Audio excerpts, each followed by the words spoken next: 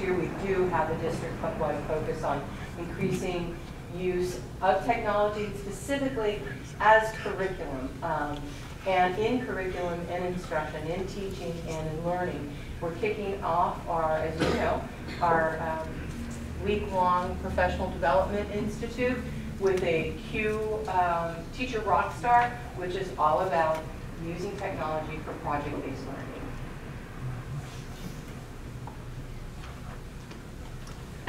And the other half of the instruction hat is, of course, regarding the curriculum, the tools that teachers use to um, address the standards in the classroom and have students learn them. So one of the big successes we've had this year, we've talked about it quite a bit at our board meetings, is we have a California State Standards-based math program with Eureka Math, and everything that comes along with that, all of the highs and lows that come with it. But it's happening in every school, and it's, it's having success. Um, we've also have, like they discussed, the SNAP Learning Close Reading Program. We are looking ahead at adopting a language arts curriculum, um, or language arts adoption for the upcoming year.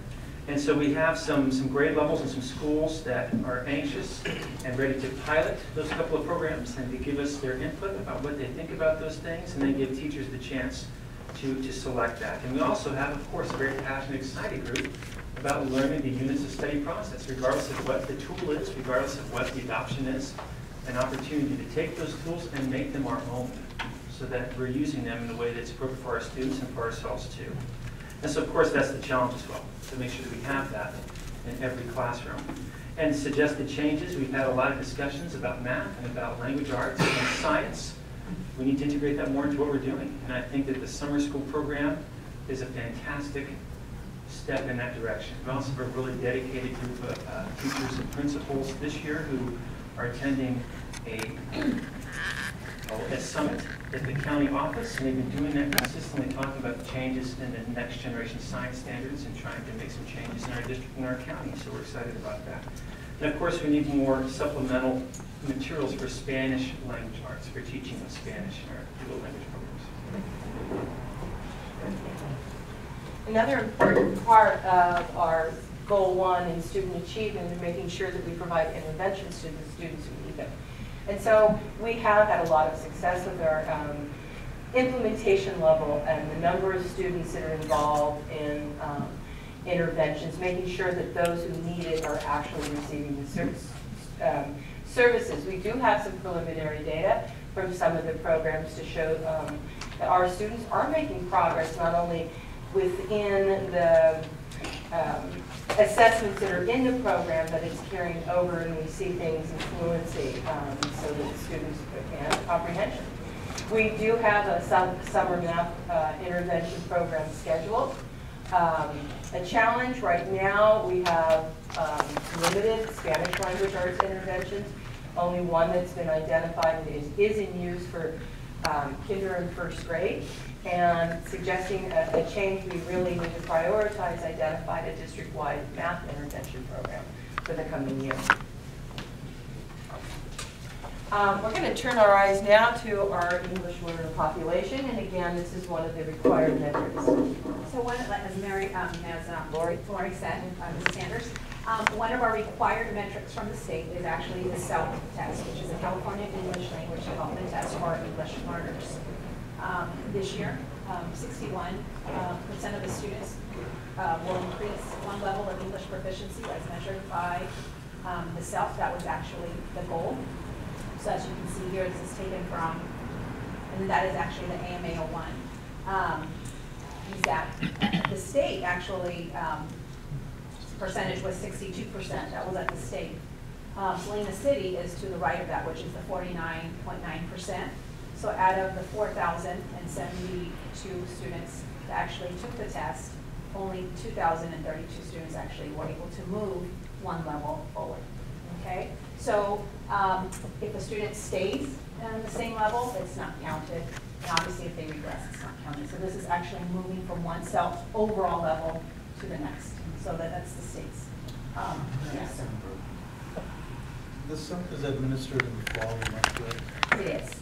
So, so there would be, if I understand it correctly, there would be a drought in the summer as far as uh, learning, as far as learning, especially if the child is not attending summer school, having any type of instruction. It- It would seem to me that it would reflect, and the CELDT would reflect that drought that's there. And um, has there been any um, idea of administering at the end of the? I'm glad you asked that. Actually, there is. There's a new test coming out. It's called the ELPAC. It's going to take over the CELDT.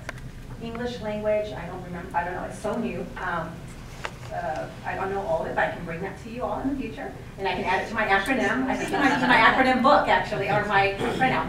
But, um, so what that's going to do, it's going to change when we're actually administering the CELDT. So for initials, it will stay the same in the fall or the first 30 days that they actually enroll into a school, and if they haven't been CELDTed before within that um, year. But the actual annuals um, are going to actually be in the spring. So, which actually addresses that. That's one of the, the- one of our concerns.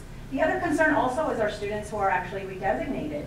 Um, We, we, normally when they actually uh, meet the requirement for redesignation, which is early advanced, um, overall, and they can't be, um, inter, uh, is it intermediate in any of the other sub, uh, domains, then we, um, and- and meeting all of the other qualifications, we redesignate them. So guess what that happens? They, that pulls them away from our pot of actually showing an increase for them too for the following year. Okay? And I, I don't know if, um, if there's any other, okay? So that, those are other factors to take in consideration, just for that one year of move, okay? Um, so then I'm going to move on to the next one, which is um, our students that are more than five years or less than five years enrolled in our US schools. So um, once again, this is a metric that is actually, that the state actually expects us to have here on our, in, in, in our um, LCAP. So 32% of EL students who have received less than five years of English instruction will attain English proficiency um, on, on CELDT. And then 51% of EL students who have received five years or more of English um, instruction will attain English proficiency on the CELDT. So this is actually equivalent to our MAO2. So once again, um, I'm just showing you, I actually pointed out, like I did on the top, just our latest, uh, 15, 16, but you can actually, I have two pri- uh, previous years here so you could see um, uh, what our, our scores have been. So now with the less than five years, here's 2015, 16. This is our five years or more. So um, this is actually at 52, this was a state goal, 52.8, um, and we had ours at 32.9. So out of the 859 students who met this criteria of being five years or more, um, 283 were um, actually met that goal. And then for our less than five years, the goal was 25.5, and the students who actually um, met that goal was 15.3%, um, only 628. And I think actually that denominator is actually um, incorrect there, because that's our less than five years. I'm noticing that, that's from the company, so I'll have, I mean, I'll make sure to have that um, fixed. Okay, or maybe not. Actually, no, those are less than five years. That's actually a lar, our larger pool. Um, so I apologize for that.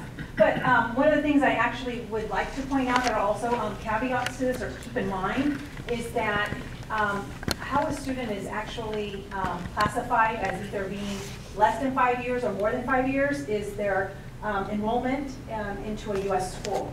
So they take that, the E, the entrance into a US school, so that could have been back in kindergarten, and then they take their latest CELDT. So for our more than five years, it could have been our students that are in fourth grade. So they take the year that they entered in kinder in any US school, not just in Salinas City, and then they actually uh, compare that to the, the CELDT. So um, one thing that the state's not looking is, it's always been one of my um, uh, things that I, a factor I think is very important to look at is that they're not checking if the students that we are being um, accounted, um, accountable for is that if they're continuously enrolled. So it doesn't have that word in there. It- All they're looking at is into a US school and then the latest CELDT. Okay, so those are kind of things to kind of take in mind too. Yes. So, you know, 20 percentage points between what the state, uh, what the state average is and what we are as a district is pretty significant. Uh, Is that a reflection of our programs, or is that a reflection of our popula, you know, our, our population, or our, our environment, or have we, do we, do we know? I mean, do we know why, or?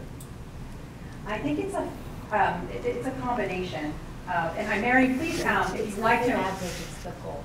Oh, it's the goal. It's the state goal. Oh, the state not goal. the Oh. Average, it's the state goal. Right, and then- giving them just correct that it's Oh, not- okay, Yeah. so why is our goal so much less? It's not our, That's that's what- our average. That's our Oh, that's our average. result. Oh, Theirs is the oh, goal. Oh, okay, I'm sorry, I Yeah. got confused. okay. Okay, so, So yes, yes, yes. Okay, Yes, but so, okay, let me rephrase that. It's a goal. If that's the state goal and we're twenty percent off, what are we not, what, what's not happening? What are we not doing to meet the needs of these children? I mean, I- do we know, or? Well, we can skip forward two slides, just some Okay, suggestions. Um, And there is a, Sorry, that last one was significant. that yeah, you that's true. It's on the redesignation. You want to talk about Yeah, that before- first? So the last um, metric that I will be addressing this evening is the redesignation. That's also a metric that um, the state requires us to um, report on. And so the goal is one percent increase in percent of students meeting redesignation criteria and being redesignated. So I have a two-year here. So for example, two, uh, for 2014-15, our enrollment of 91, uh, 25, um, actually 271 students were actually redesignated, which was at a 2.97. This year, for 2015-16, um, we- our enrollment is 91, over we were 20 less.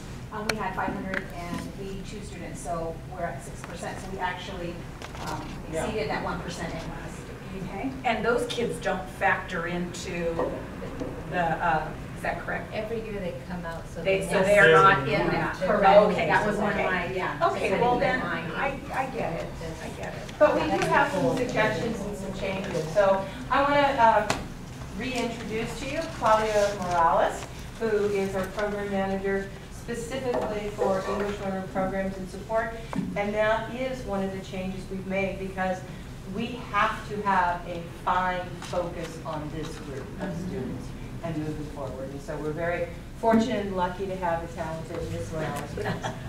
Who's been waiting all night? Yes. So, um, so I'm just going to start with the successes as well. Um, at the beginning of the school year, we went, our district went through a fro- uh, federal program review. Um, under these actions, the reviewers discovered no findings, um, meaning that the programs and supports for English learners that we had, have in place, um, met or exceeded standards. Um, this June, oh, I'm sorry, um, the, the Salinas City School District has two certified GLAD trainers, um, on board that are continuing, I'm sorry, I'm drawing, I'm It's Late. Yes, continually supporting and training our teachers.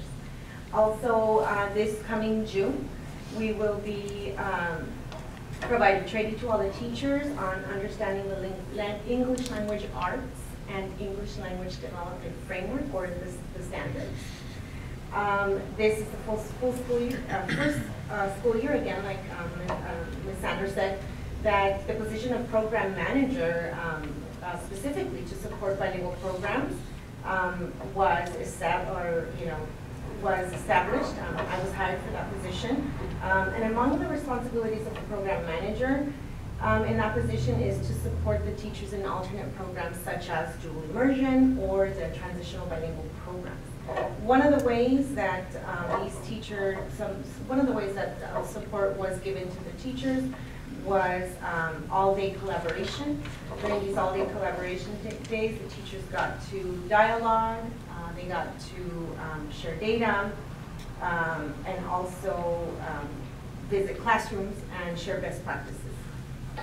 Um, Another success um, that was impacted by the program manager position for English learners and bilingual programs is streamlining of the dual immersion um, enrollment process. Like uh, Mr. Zulander was explaining earlier, um, there, because um, there is such um, a, a, a, an interest, a high interest in the program like dual immersion, and enrollment is ever increasing. So we created that application process. Um, and for all, any uh, person, all person, people interested in either um, enrolling their children in TK or kindergarten or even first grade. Um, and like, again, like it was stated earlier, um, the criteria to approve the, um, applications, again, is giving, giving priority to the students who attend, who are belong to the attendance area of the school, children who ha- currently have siblings in the program, um, children, uh, who are, um, whose parents are employees of the district. And then, of course, we're going to have a lottery for any of the um, waiver, uh, transfers, transfers that um, we receive.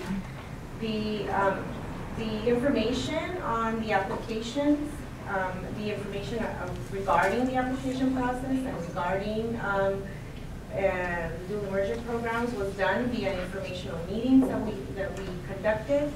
Um, And then, um, and also the criteria that we are using to enroll the students. It, a lot of it really is, goes back to the criteria that is used by HR to um, enroll students that are um, requesting those transfers. So by streamlining the process of this enroll, of the enrollment, um, we've supported the site administration and their admini- administrative staff in organizing this huge component of the program. So I'm gonna move to the challenges. Uh, the single challenge has been acquiring English language development materials for our students. Um, our current English language arts program has um, a limited ELD component. Uh, so we're currently collecting some of our existing supple- supplemental English language development materials and um, make, making them available for our teachers. And it is our hope that with the new adoption, we can also gain a solid ELD program. Okay.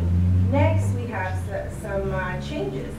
So um, the- with the new adoption, we will have, uh, the new adoptions will be offering lessons for both integrated and designated ELD. So one of our big, um, uh, well, our big responsibilities is um, to fully understand the difference between integrated ELD and designated ELD.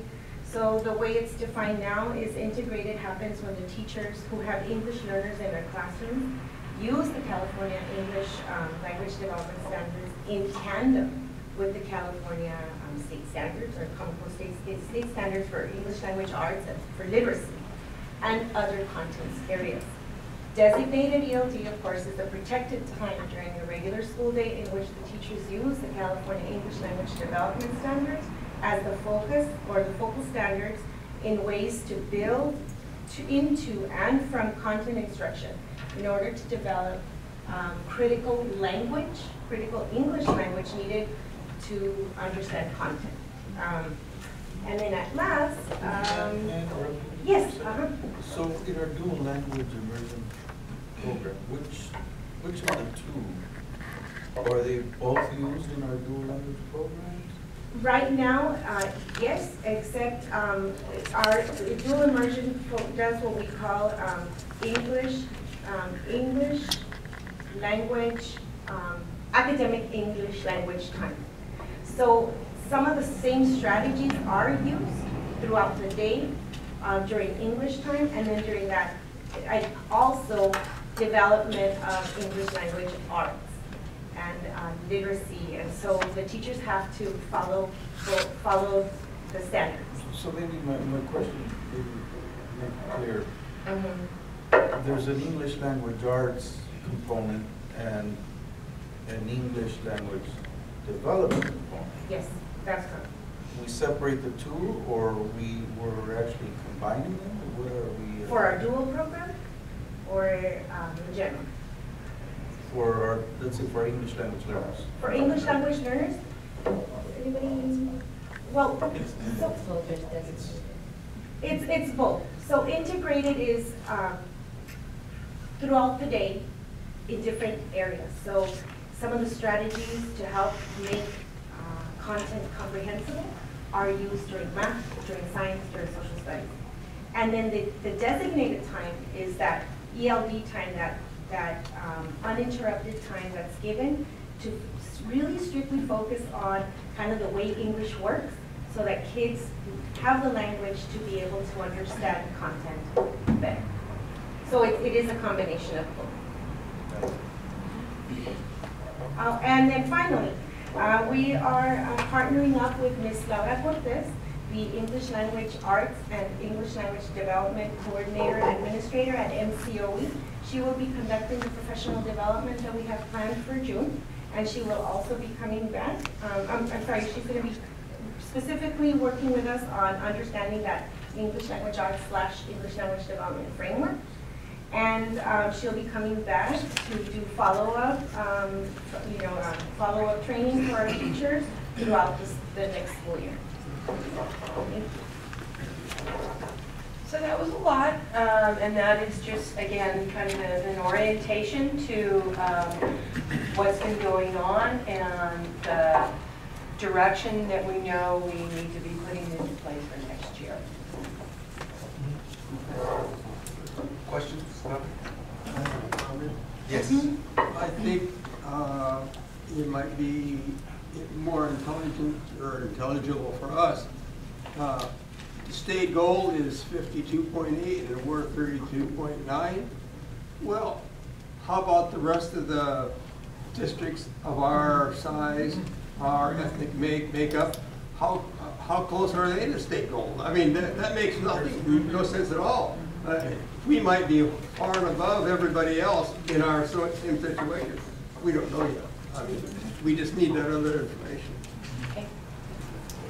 Okay. I will say something about, I, I I think you're referring to um, the actual, the, the CELDT data? Yes. right? This CELDT, right? Yeah, the redesignation data. Um, Those, those two data points right there are um, our AMAO information, which we have not met. Um, And I think they were, they took me aback, you know, they, they made me step back because consistently the district has not made their MAO one. MAO one is pretty easy to make and you should be making it.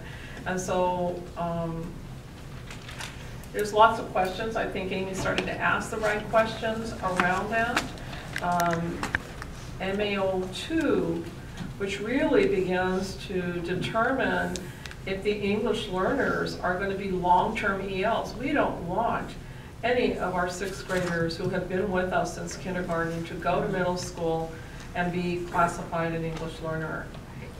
They'll, they will fall into a tracking system. And their, their high school, their, their abilities to meet their A through G requirements in high school are gonna be extremely limited. So I'm very concerned about this data point. I'm concerned that we, um, a district who have high numbers of English learners, are not, um, it looks, I mean, at least the promising piece is the redesignation piece of data, but um, why this hasn't been met and why this hasn't been met over time is a question I think that we really need to look at. I, I do want to say on the last slide, um, you are looking at some promising programs. Um, I think the rule of three is being used at a couple of the schools, and I don't know, uh, you know, it's, it's a, a program that might yield some results. I think we still have to look at the data behind that. But not having a consistent, coherent ELD program, um, I'm not even sure that there was designated EL time um, for our English learners across the district. I think there's lots of reasons why these, you know, these stats are as they are, and they've been consistently low over time. And this is what we are held accountable for in our supplemental concentration um, LCAP dollars. We're funded um, extra money um, for these children, and we are held responsible for the um, progress, academic progress of these students. So um, I certainly will be asking questions more and more so. Um, I, I don't look um, for a program necessarily to solve that problem. We have a new English language arts slash ELD adoption. Um, we had that for 10 years. We've had programs that had the ELD component on that. I don't know what the implementation of that really truly looked like. I think it's kind of, you know, um, it varies from school to school. And um, I think, you know, to continue to ask these questions around the progress of English learners is um, we will be held accountable in years to come um, because we're being funded on a model that looks specifically at these students. So um, I just continue to look at some promising practices that are, that are emerging. Um, we're looking at, um, I think last time somebody asked the question, and I can't remember who it was when we did the um, dual immersion um, presentation, around having a data point, around looking at assessments. When we were at CABE, I was sending Claudia Goldget that Spanish assessment. We need the data. We need, we need data. Um, I think, Virginia, you pointed out on one of your slides that we didn't have um, the assessment data for ELD. We're not doing the progress monitoring and those data points in between to measure whether those are happening. We're looking at a one-year snapshot here, and um, that's not enough. And so, um, I'm sorry, I don't want to put a damper on this, but I think that this particular goal in our LCAP is one that we really need to continually um, get updates around and measure and begin to really look at what happens at collaboration times for teachers in terms of looking at data and how that is monitored and what,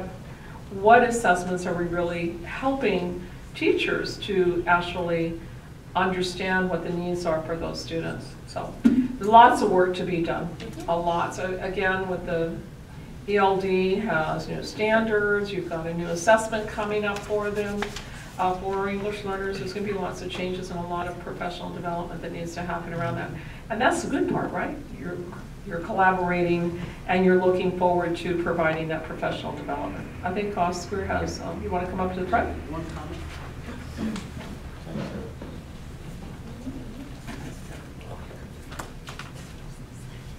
Hi, Oscar Ramos, Sherwood. We have tons of ELD students at Sherwood. Now, earlier we were discussing dual immersion and what is dual immersion? Um, what does it rely on? It relies on student models that can speak the language. Well, I, I know there's a whole compliance thing, but take Sherwood for instance. What we're doing for ELD, trying to help, is what happens to our students is we have to level. So what are we doing? We're leveling other kids that can't speak the language, and they're together. Well, and we take all their models away and we put them all in one room. It's ineffective. It doesn't work. Whereas when we use, they're all together in the same room, the models, the ones that are learning, using GLAD strategies, that's more sort of like a DI. So that's one problem why it's harder for us to meet this goal because we're secluding the ones that need to learn the language from the ones that know the language. So that's just an observation. And, you know, we can not level, that would be great, you know, so. anyway.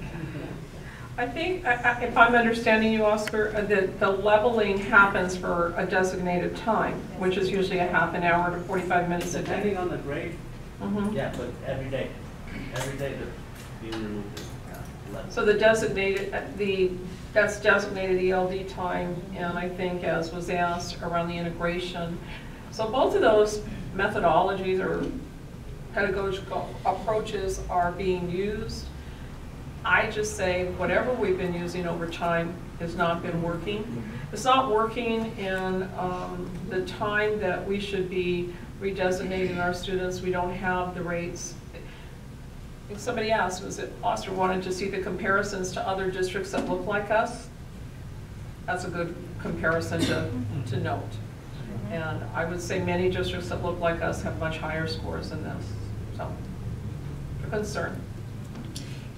Is, is there the, the possibility that, say, you know, some teachers at Sherwood could try not leveling for a year and see what happens to their scores? I mean, is there, is there the option that, um, that that might be one of those leaps of faith that we try just to see if, if it improves? Because obviously, you've been leveling for years and years and it's not working. I, I can guarantee you there will be plenty of teachers would volunteer to pilot something like that and compare scores with those that do level. I would be one of those.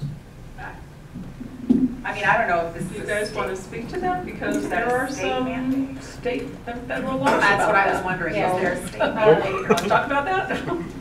Yeah, and that, there, there's a place for both of this, and that's why we don't have, we have what's called an SEI classroom, which is a heterogeneous classroom for the vast majority of the day, where the levels are mixed. And during that time is when we have integrated ELD, when you talk about the GLAD strategies, where you're teaching math to a a heterogeneous group, but in addition to having a, a math content goal, you have a language goal. So that, you know, students are gonna work in collaborative groups and have a discussion about, you know, mathematical practices.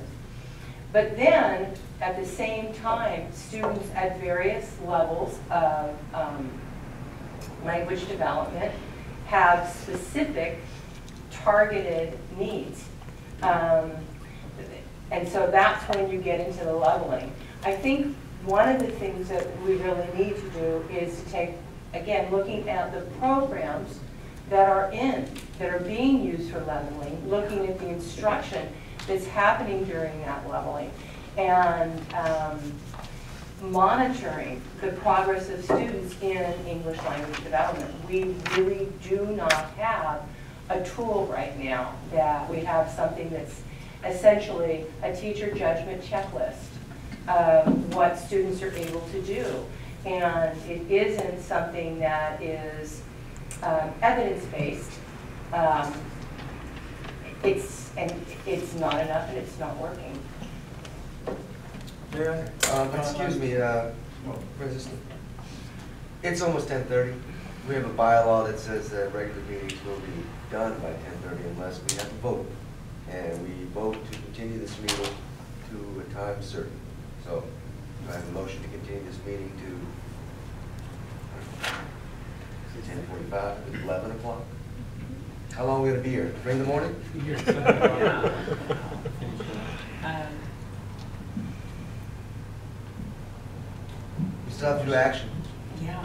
We can start at action. Okay, I move that we extend the meeting to 11 o'clock. Second? Second. Okay. All in favor? Yeah. Aye. All opposed? Okay. I'm sorry. Who's next? Francisco. Francisco. You know, if you were, if we were to open bilingual classes at Sherwood, you wouldn't have to level. You wouldn't have to level, you don't have the numbers for dual language immersion, but you have that bilingual education class alternative. Just a matter of opening those classes or having parents solicit those classes. You're right, and um, actually this year, Sherwood has two alternative programs, which is a traditional early exit bilingual classroom in kinder. Um, So that was, um, there hadn't been um, what in this district we call AP, alternative program classrooms, at Sherwood for um, quite a few years. I know, Mary, do you know how long it had been? Um, Fifteen. Since last time I. Right, so, it did- so, and so this year, um, they were brought back, and they're brought back in kinder, and there are two classrooms at at Sherwood. By early exit, you mean K three? They're, they're exiting by third grade, second grade? The early exit model is, is K-3. Um, It can be extended, uh, sites have the option to do that. Um, It is, in- it's, it's dependent on parent interest, the waiver process. So next year, those kindergartners will be in first, you'll have the early, exit, and mean, you'll continue with the bilingual Mhm. If the- if the- yes. Um, if If the- they have not, oh, If the parents request by waiver. Right, if the Children parents, have been yeah. placed in the program without the Mhm.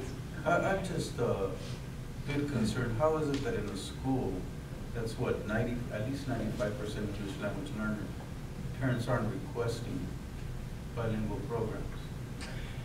Well, they are now. They, they are now. Um, I can't, um, speak to the, what occurred, um, 10, 12, t- eight years ago.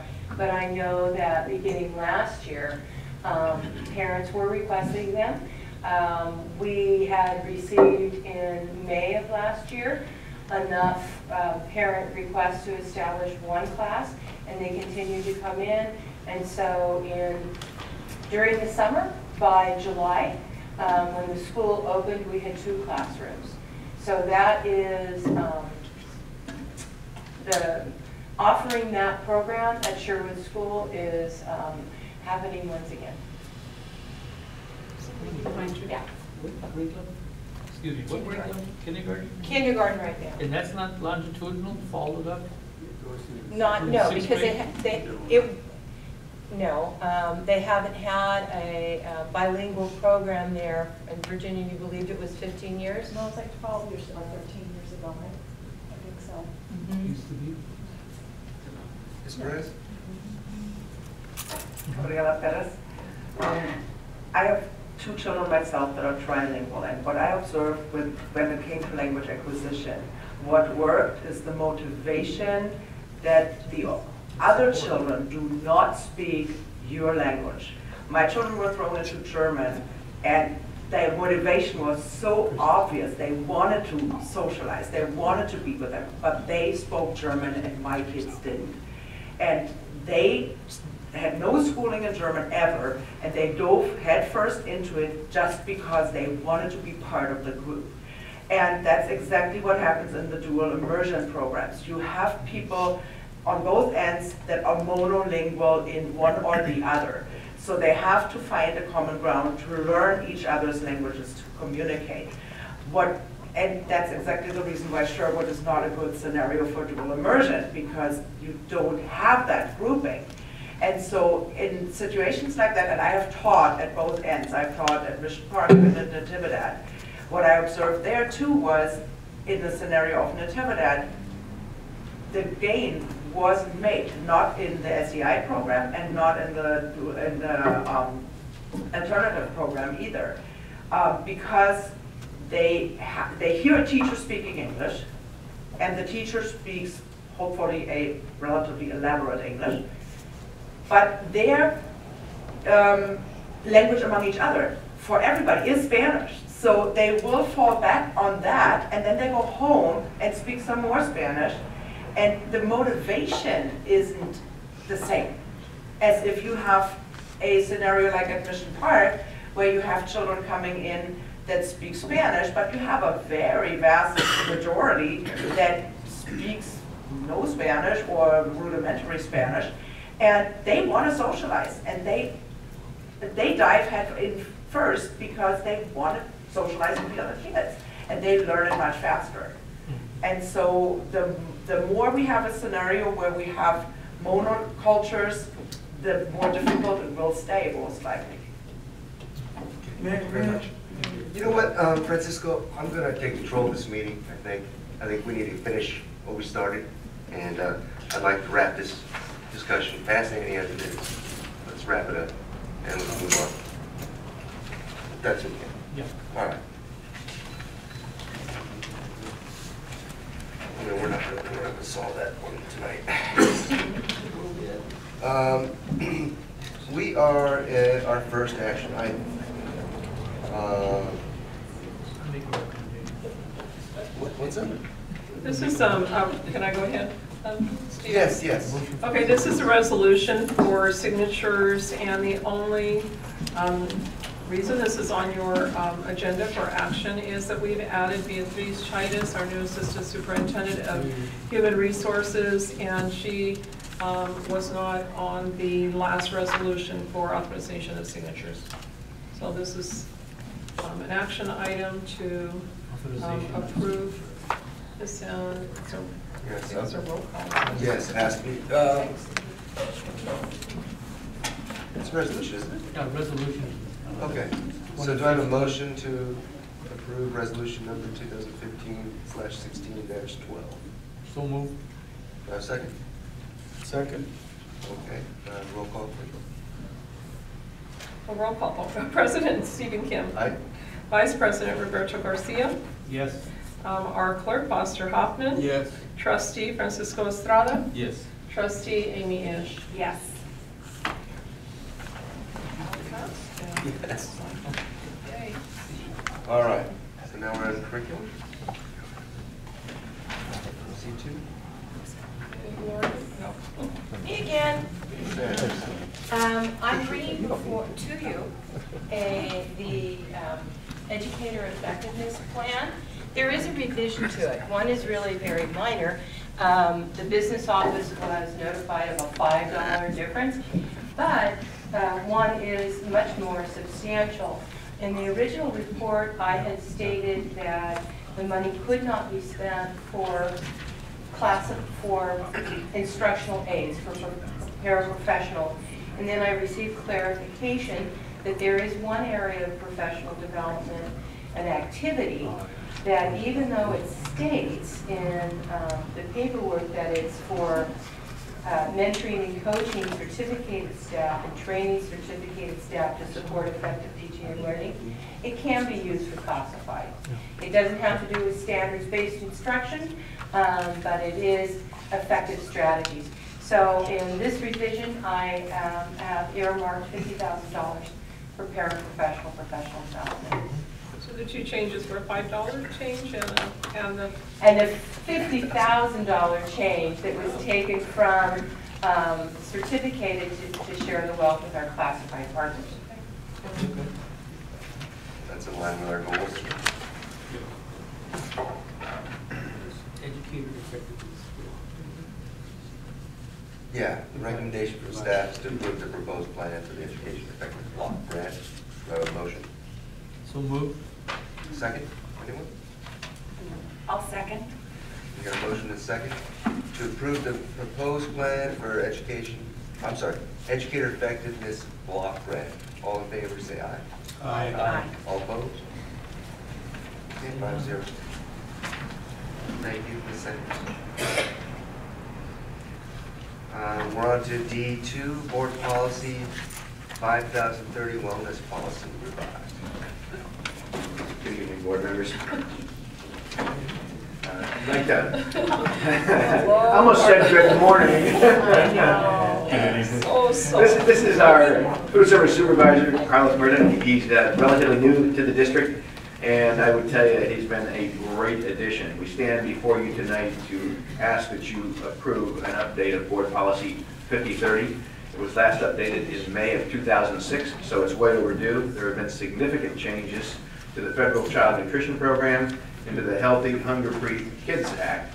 Both of those put a lot of additional requirements on us as we serve breakfast, lunch, fresh fruit and vegetables, and an evening meal. Uh, So our policy was really not compliant. The timing of this is perfect because a, the CDE, California Department of Education, um, auditor came today to look at our food program. And we would ask you to approve this tonight, so we have it on file for that team. Uh, It incorporates all of the latest requirements. It's fully compliant. And I have to salute Carlos for taking this on aggressively, putting it together, pulling in all the new requirements, getting it approved, moving it back and forth through uh, other experts to make darn sure that it was comprehensive and correct. Do you have any questions? I have, I have a comment, or a actually, I guess it's just a comment, and it is not about the food service part, that looks great. It's on the physical activity part, um, uh, it's page five of six. And there's a statement in there that says, "Physical activity during the school day, including but not limited to recess, physical activity breaks, or physical education, will not be withheld as punishment for any reason." Is this being monitored? Because, I mean, if this is our board policy, I believe teachers need to understand, or staff needs to understand, that you can't withhold recess or PE to finish work because you didn't do your homework, because you got in a fight with someone. I mean, I just, according to this policy, that's the way I'm reading it. Is, okay. Yeah, so that's actually a, an applicable law that's been happening for the past couple of years. So the reason we're doing this policy is to make it clearer for parents and teachers on what we're supposed to be doing as of now. Uh, It's really, the policy that we currently have is really about thirty-two pages. So if you can imagine someone trying to look for that information, you gets lost in the transaction. So this purpose is to make it a little easier for both parents and our own personal teachers and principals and administrators to guide their operation to what it's supposed to be. And to answer your question, I would expect that it's not being complied with at all sites right now. We'll make sure that we get out Any. with the approval. Okay. In terms of recess with. But it will be made very clear that this is now board policy. so it needs to And happen. law. And law. And law. Okay. Can you cite where that is? Because as far as I can tell, that is not the law. The law says that a child will have recess for part of the day, but that part of it can be taken away from them. That is a CDE, I can, I cannot say it right now, I could definitely research it, but it was from the CDE It's website. under 33350. Okay. We'll send it to you. Thank you. Sure. And then we have, Oh. Well, we had, a- I had a couple of questions on a couple parts, I don't know if this is the, you want them to, the mic, Carol? Sorry, thanks. Get my glasses. Um, We had a couple of things, um, I noticed and a couple of the others noticed that the- there's a district wellness committee and it's, it's supposed to be comprised of representatives of all school levels, including teachers. They might have asked me to find someone or maybe I, you know, should, uh, I'm not sure, but I know we don't have a teacher on that. Um, but also, there's a lot about nutrition education um, and so forth that um, I'm, I'm not sure how much of this is new and how, and, or not. So there's a lot of education, uh, part of health education classes, but also integrated into other classroom instruction through math, science. I don't know that any of that's happening teach media literacy with an emphasis on food and beverage marketing, um, include nutrition education for parents, teachers, and other staff. Um, Some of those might be new, but I circled them because I wasn't quite sure. And if they are new, how is this going to happen, um, was my question.